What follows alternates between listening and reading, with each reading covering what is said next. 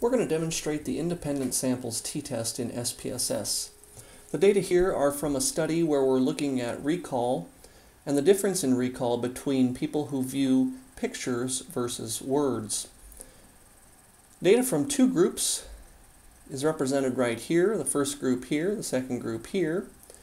If we toggle here, we'll see this is the data from the pictures group, this is the data from the nouns group. To do the analysis, we'll go to Analyze, compare means, independent samples t-test. We're going to test the number of words recalled, and we're going to group those data by the grouping variable, the values of which are 1 and 2, which we just saw. Say OK. We get our analysis here. Those who saw pictures recall on average about 20 items. Those who saw nouns recall on average about 16 items. Is this difference statistically significant? We're going to look in the first row here.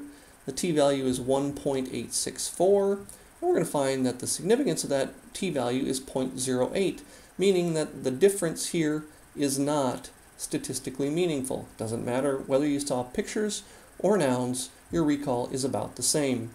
Let's demonstrate this same test using the Luther Alcohol Survey.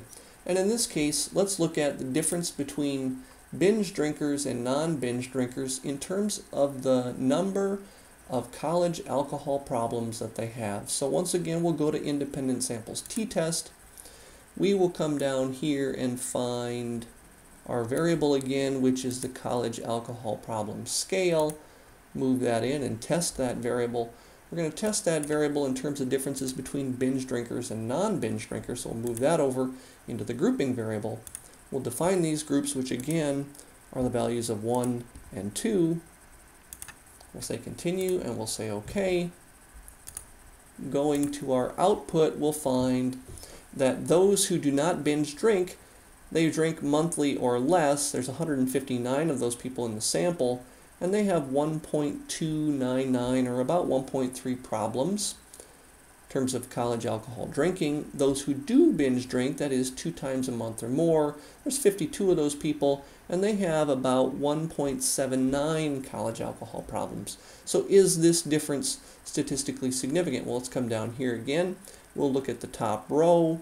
The t-value is a negative 5.616 and the significance of that t-value is 0.000, but we know that there's something there that's a 0.001. What that means is that the difference between non-bingers and bingers is statistically significant. Binge drinking college students have more college alcohol problems.